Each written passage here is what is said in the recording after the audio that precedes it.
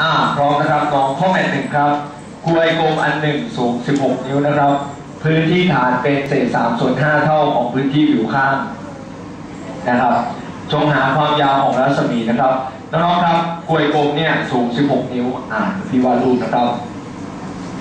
กลวยกลมสูง 16 หน้าที่ 32 นะ โอเค สูง 16 นิ้วครับวาดรูปประกอบเร็วทำได้แล้วนะ อ่า พื้นที่ฐานเป็นเศษ3ส่วน5เท่าของพื้นที่อยู่ข้าง พื้นที่ฐาน เป็นก็คือเท่ากับ เศษ3ส่วน5เท่าของก็คือคูณ พื้นที่อยู่ข้าง พื้นที่อยู่ข้างนี่คือความสัมพันธ์ที่โจทย์ให้มาครับ ทีนี้เราลองแทนค่าดูครับว่าพื้นที่ฐานเนี่ย มีสูตรว่าอย่างไรเราจะพบว่าพื้นที่ฐานเนี่ยมีสูตรก็คือพาย r ยกกำลังสองเท่ากับเศษสามส่วนห้าคูณด้วยพื้นที่ผิวข้างพื้นที่ผิวข้างก็คือพาย r l นะครับน้องๆครับ ตอนนี้น้องๆเห็นว่าทั้งสองข้างนั้นนอกจากจะมีพายร่วมกันแล้วนะครับ ยังมี r ร่วมกันอีกหนึ่งตัว แล้วน้องก็มั่นใจได้เลยนะครับว่า r เนี่ยไม่ไม่เป็นศูนย์นะครับ r คือรัศมีะครับ รัศมีไม่เป็นศูนย์แล้วก็หารด้วยพายทั้งสองข้างนะครับ แล้วก็หารด้วย r ทั้งสองข้างเนี่ยครับน้อง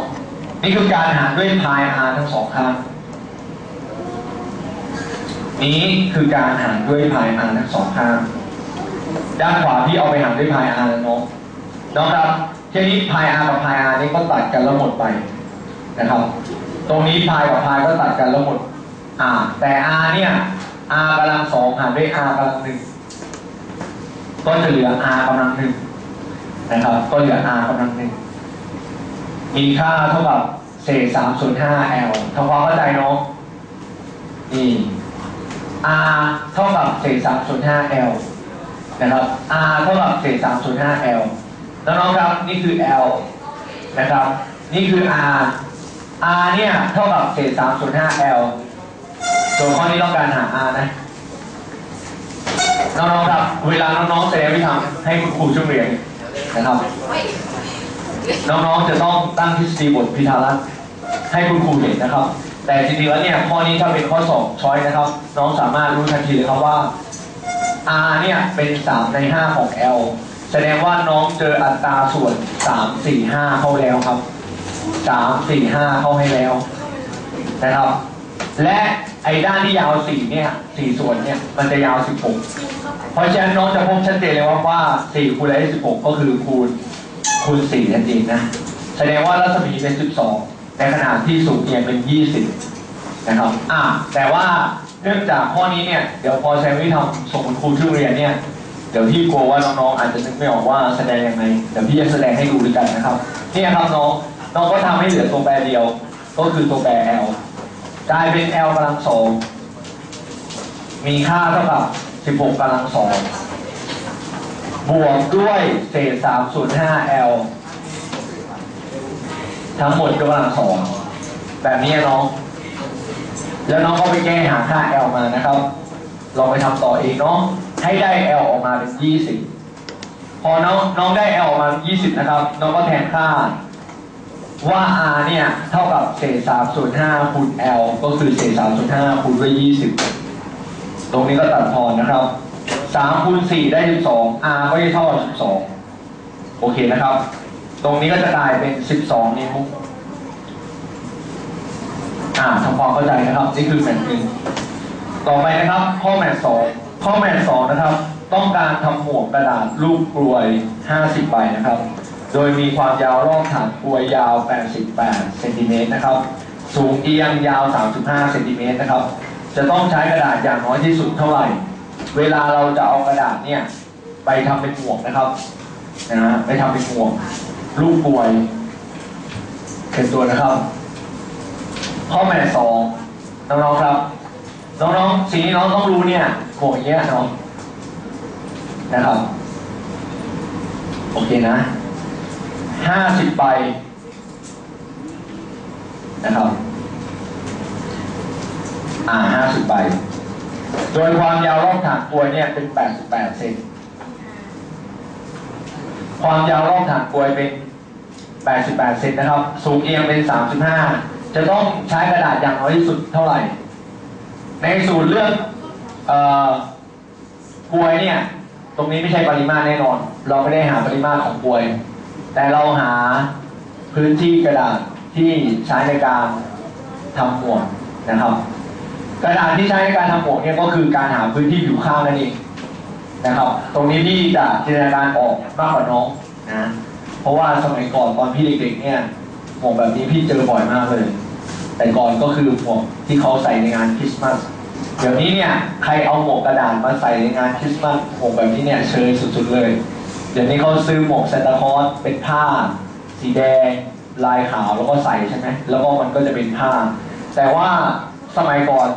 น้องอาจจะยังเกิดไม่ทันหรือว่าอาจจะพอจะจำความได้ มันจะมีหมวกกระดาษนะครับ เดี๋ยวนี้ใครใส่หมวกกระดาษนี้นี่โอ้โหเชยแบบสุดๆเลยนะครับ ไม่ค่อยเห็นใครใส่เลยนะครับ จริงๆนะจริงๆมันเป็นอะไรที่คลาสสิกมากเลย แล้วเขาก็จะเอาสายลุงเนี่ย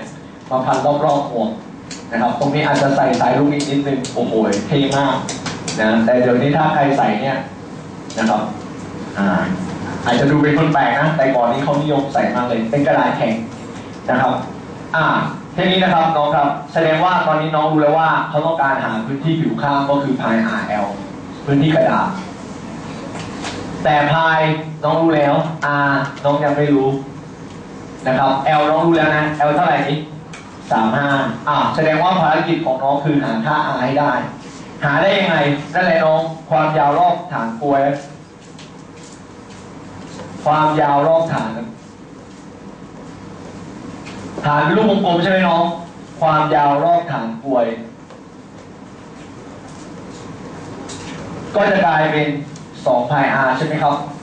แต่เนื่องจากโจทย์ข้อนี้นะครับ โจทย์บอกมาว่า ความยาวรอบฐานกลวยเนี่ย เป็น 88ถัดนะครับ แต่เราเรียนแล้วว่าความยาวรอบฐานกลวยเนี่ย สูตรก็คือ2คูณ pi คูณ r 2คูณ pi คูณ r r ก็คือ r เนี่ยนะ r ก็คือ r r เรียบร้อยนะสองคูณยี่สิบสองได้สี่สี่กลายเป็นเศษสี่สี่ส่วนเจ็ดนะครับ คูณด้วย r แล้วก็เท่ากับแปดสิบแปดนะครับทำความเข้าใจโน้เท่นี้เนี่ยเราก็กำจัดเศษสี่สี่ส่วนเจ็ดนะครับ โดยการหารด้วยเศษสี่สี่ส่วนเจ็ดทั้งสองข้าง กลายเป็นแปดสิบแปดตั้งหารด้วยเศษสี่สี่ส่วนเจ็ดนะครับทำความเข้าใจ ก็จะกลายเป็น r เท่ากับ 88 หารด้วยเศษ สี่สี่ส่วนเจ็ดเปลี่ยนเป็นเศษเจ็ดส่วนสี่สี่ทำความเข้าใจสี่สี่คูณหนึ่งได้สี่สี่สี่สี่คูณสองได้แปดสิบแปดเจ็ดคูณสองได้สิบสี่รัศมีจะกลายเป็นสิบสี่รัศมีจะกลายเป็นสิบสี่น้องครับ ตอนนี้ที่รู้แล้วนะครับว่า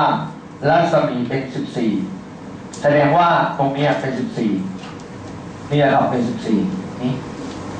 รัศมีเป็น14พอพี่รู้ว่ารัศมีเป็น14แล้ว พี่ก็จะสามารถหาพื้นที่ผิวข้างได้แล้วนะ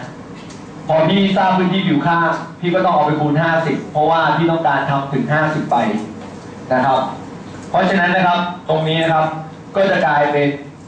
ใช้กระดาษนะครับ ใช้กระดาษ ใช้กระดาษ ใช้กระดาษ